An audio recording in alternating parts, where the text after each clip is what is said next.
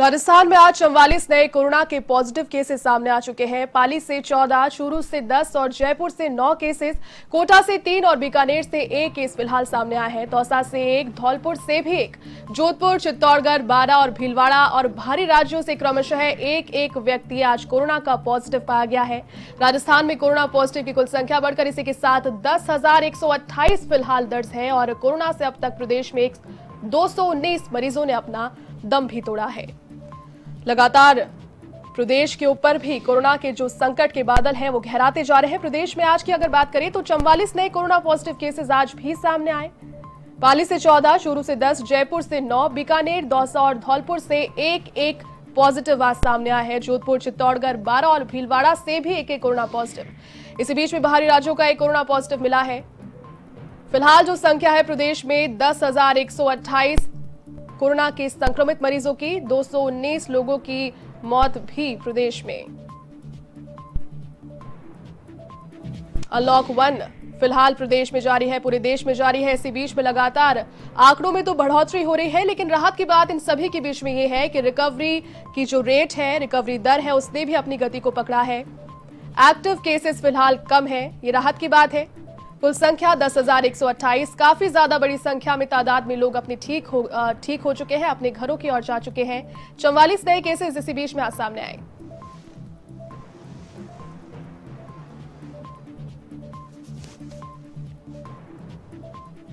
जोधपुर से एक केस आज सामने आया, चित्तौड़गढ़, बारा और भीलवाड़ा से भी एक एक केस। भारी राज्यों का भी एक कोरोना व्यक्ति, एक कोरोना पॉजिटिव व्यक्ति मिला है। राजस्थान में कोरोना पॉजिटिव मरीजों की कुल संख्या दस हज़ार के आंकड़े को पार कर गई है। 219 लोगों की अब तक प्रदेश भर में मौत भी कोरोना के चलते।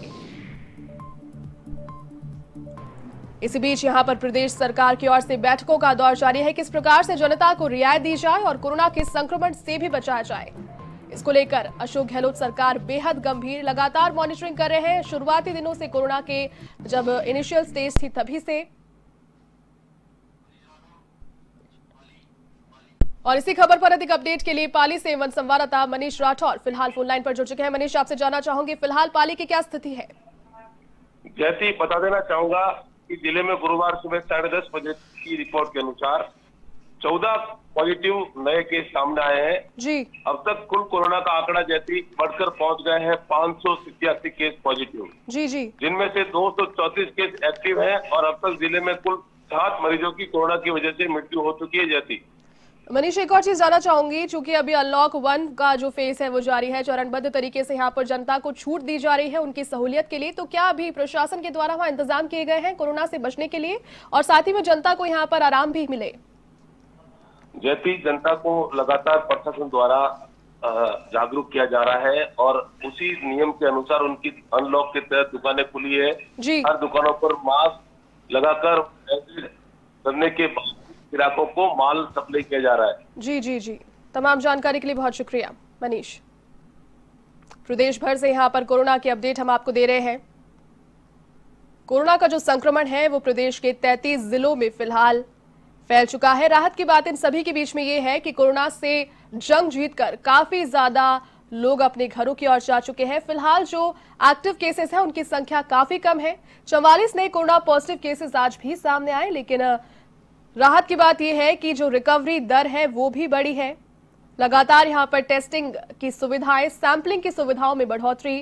फ़िलहाल सरकार का एक आ, मोटे तौर पर अनुमान लगाया जाए तो 19 से बीस हज़ार टेस्ट प्रतिदिन यहाँ प्रदेश में हो रहे हैं और इसे आगामी दिनों में पच्चीस हज़ार किए जाने की पूरी कोशिश सरकार के द्वारा जारी। और इसी खबर पर अधिक अपडेट के लिए वन संवाददाता योगेंद्र महावर कोटा से फ़िलहाल मेरे साथ फ़ोन लाइन पर जुड़ चुके हैं। योगेंद्र बताइए कोटा की क्या तस्वीर है फ़िलहाल? मैं आपको बता दूँ कि आज 506 कोरोना संक्रमित मरीज़ अब तक कोटा से सामने आ चुके हैं। हालाँकि इसमें राहत की बात यह है कि लगातार कोरोना संक्रमित मरीजों की जो संख्या बढ़ रही थी उसमें भी इजाफा हुआ है लेकिन कोरोना संक्रमण के मरीज़ कम निकल रहे हैं। आज भी तीन कोरोना संक्रमित मरीज़ सामने आए थे। इसके पहले कल कोटा से दो और सुबह एक कोरोना संक्रमित मरीज़ सामने आया था। तो कहीं ना कहीं एक जो रिकॉर्ड बनता जा रहा था वो भी लगातार ज़ाहिर है। लेकिन जो कोरोना संक्रमण निकल रहे थे उनकी संख्या कम हुई है। हालाँकि इसमें जिला प्रशासन के लिए अभी भी यही चुनौती बनी हुई है कि ये जो लगातार जो आंकड़ा है वो 500 के पार पहुँच चुका है। तो कहीं ना कहीं इसको रोकना बेहद ज़रूरी है और विज्ञान नगर और छावनी इलाका ऐसा है जो अभी भी कोरोना का हॉट स्पॉट एरिया बना हुआ है जहाँ से लगातार कोरोना संक्रमित मरीज़ सामने आ रहे हैं और यहाँ पर लगातार सर्वे किया जा रहा है। तो कहीं ना कहीं जिला प्रशासन के लिए चुनौती ज़रूर साबित हुई है लेकिन इससे लड़ रहा है पूरा शहर एकजुट है पूरा कोटा शहर एकजुट है। स्वास्थ्य विभाग हो जिला प्रशासन हो सभी एकजुट होकर कोरोना से लड़ रहे हैं। इसी की आवश्यकता है, योगेंद्र, एक और चीज़ आपसे जानना चाहूँगी अनलॉक वन का फ़ेज़ अभी फ़र्स्ट फ़ेज़ जारी है तो कोटा शहर की आबादी चूँकि इतनी ज़्यादा नहीं है, लेकिन जिस प्रकार से अभी आंकड़े देखने को मिले, कोटा के हर क्षेत्र में कोरोना के पॉजिटिव यहाँ पाए गए, चाहे निचले इलाके कहे या पौष कॉलोनीज फ़िलहाल जनता और प्रशासन के बीच में किस तरीके से तालमेल है, किस प्रकार से दोनों कार्य कर रहे हैं, क्या आपसी सहयोग बना हुआ है वहाँ पर?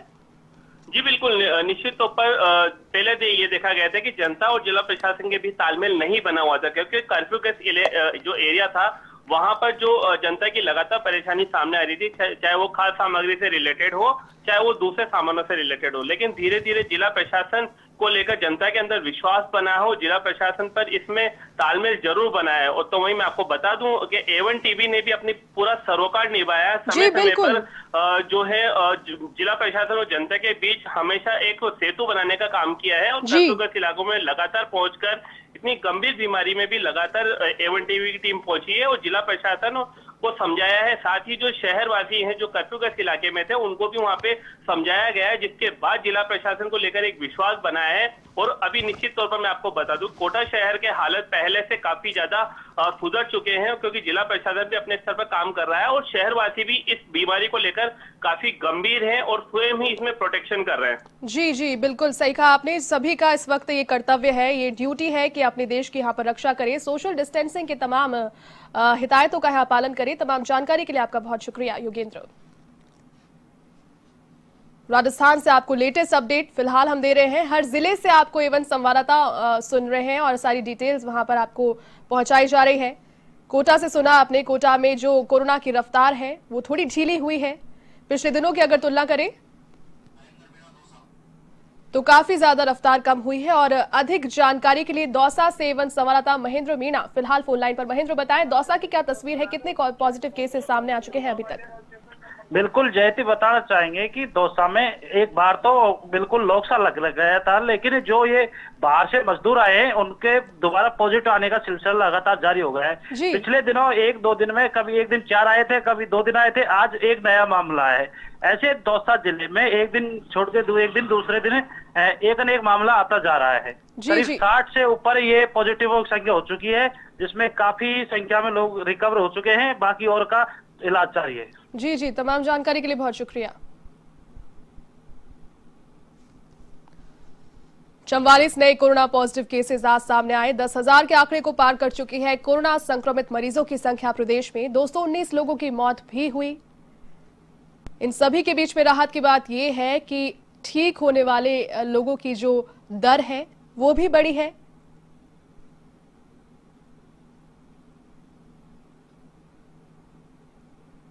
लगातार यहाँ प्रशासन कार्यरत है, जनता को सुविधाएँ प्रदान करने के लिए, जनता को संरक्षित रखने के लिए और जनता की सेवा के लिए यहाँ पर गहलोत सरकार पूरी तरीके से प्रतिबद्ध नज़र आ रही है। शुरुआती दिनों से ही लगातार किस प्रकार से इस महामारी से बचने के प्रयास किए जाए उसके लिए मॉनिटरिंग जारी है।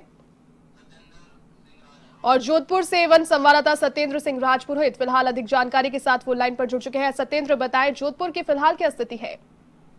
जैसे जोधपुर शहर की यदि बात है तो यहाँ भी कोरोना के मरीज़ है जो लगातार सामने आ रहे हैं। अभी कहीं ना कहीं जिला प्रशासन है और जो चिकित्सा विभाग है वो कहीं ना कहीं वापस अलर्ट हुआ है। उसने जो रैंडम सैंपलिंग बीच के अंदर जो कार्य धीरे हो गया था वो कार्य अब लगातार तेज कर दिया गया है। कल भी जोधपुर के अंदर काफ़ी मामले सामने आए थे। आज यदि देखें तो अभी तक एम्स हॉस्पिटल के अंदर नौ मामले सामने आ चुके हैं और जोधपुर का आंकड़ा है जो सत्रह के पार पहुँच चुका है। सत्येंद्र एक और चीज़ जानना चाहूँगी। प्रदेश की अगर बात की जाए तो जयपुर के बाद में जोधपुर ही वो जिला था जो हॉटस्पॉट था। फ़िलहाल अनलॉक वन का जो फ़ेज़ जारी है तो जनता के बीच में और प्रशासन के बीच में किस प्रकार का तालमेल है? क्या दोनों एक दूसरे का पूरा सहयोग कर रहे हैं इससे लड़ने के लिए? बिल्कुल जैसे कि अनलॉक वन प्रदेश के अंदर लागू है। शहर में लगातार जो बाज़ार है वो खुल चुके हैं। प्रशासन का लगातार उनसे संपर्क है। जिस प्रकार पुलिस मित्र बना जाता है उस प्रकार अब जोधपुर पुलिस ने व्यापारी मित्र बनाने की भी अनूठी पहल की है। जी। जो भी व्यापारियों के मौजूद लोग हैं उनसे उनका अलग से सामंजस्य बिठा रखा है और लगातार जो है उनसे संपर्क में है। चाहे सोशल डिस्टेंसिंग हो चाहे मास्क हो चाहे सैनिटाइजेशन हो उसका पूरी तरह से ध्यान रखा जा रहा है। और लगातार जो जोधपुर प्रशासन है पूरी तरह से अलर्ट नज़र आ रहा है कोरोना को लेकर सत्येंद्र कहीं ना कहीं कहा जा सकता है कि कोरोना की जो रफ्तार है वो जोधपुर में कम हो गई है। क्या मैं ये कहूँ तो सही रहेगा वो? नहीं बिल्कुल इस बात में अपन सहमति नहीं दे सकते कि लगातार जो रफ्तार है वो बढ़ती जा रही है। वो बढ़ना एक तरीके से लोगों के लिए अच्छा ही साबित हो रहा है जी। कहीं ना कहीं जो प्रशासन है वो लगातार सक्रिय नज़र आ रहा है उसने रैंडम सैंपलिंग चालू कर दी है लगातार जो मामले सामने आ रही है उस पर अपन ऐसा नहीं कह सकते कि प्रशासन की नाकामी है। जी जी। लगातार मामले सामने आना लोगों के लिए अच्छा है क्योंकि कहीं ना कहीं प्रशासन इस चैन को तोड़ने के अंदर तभी सफल होगा जब तक कोरोना के मामले लगातार सामने आते रहेंगे जी बिल्कुल बिल्कुल। तमाम जानकारी के लिए बहुत शुक्रिया सत्येंद्र।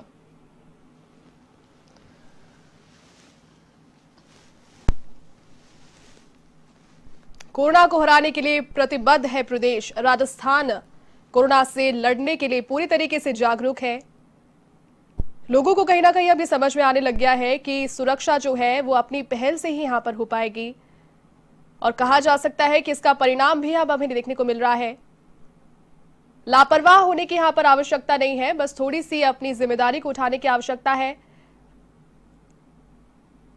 राजस्थान में पूर्ण, राजस्थान में कोरोना पॉजिटिव मरीजों की संख्या में बढ़ोतरी तो हो रही है, लेकिन ग्राफ जो है, वो बढ़ने के साथ साथ रिकवरी रेट भी फ़िलहाल बढ़ी है और इसी खबर पर अधिक अपडेट के लिए वन संवाददाता जयपुर से लोकेश ओला फ़िलहाल फ़ोन लाइन पर जुड़ चुके हैं मेरे साथ में। लोकेश, बताएँ, जयपुर की फ़िलहाल क्या स्थिति है?